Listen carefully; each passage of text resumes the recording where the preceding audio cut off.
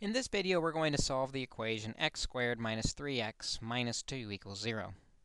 We can't solve this equation by factoring because there's nothing that multiplies to negative 2 and adds to negative 3, and so we need another method. We found out this other method is to make the left side into something squared equals some number, because we can get rid of that squared by taking the square root of both sides.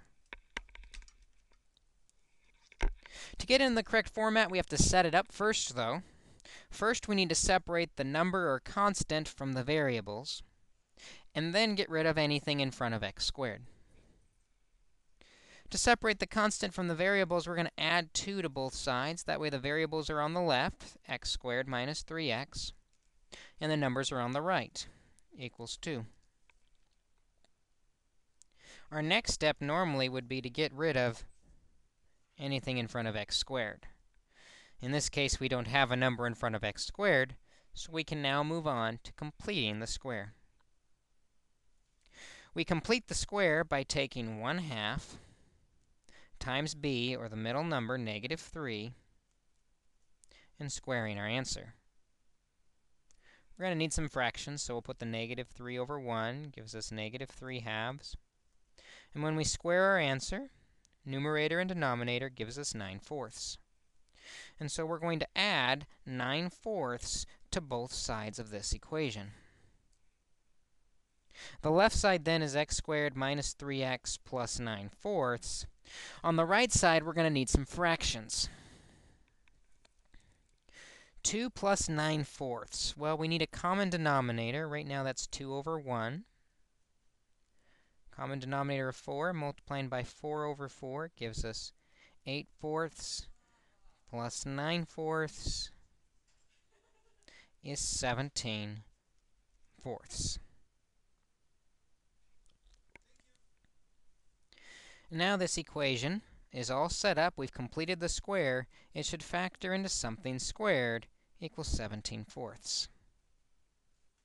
We can take the square root of the first term, which is x, the sign from the middle, minus, and the square root of the last term.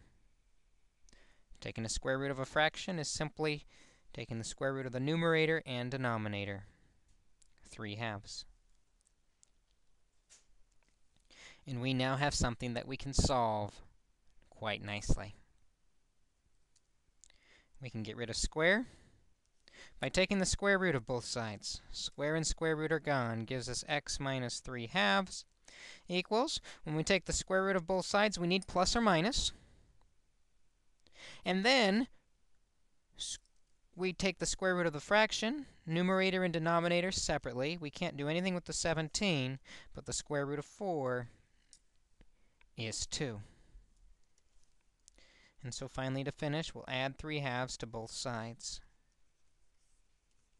giving us x is equal to Notice we have a common denominator already, so we can put it all over the common denominator of 2.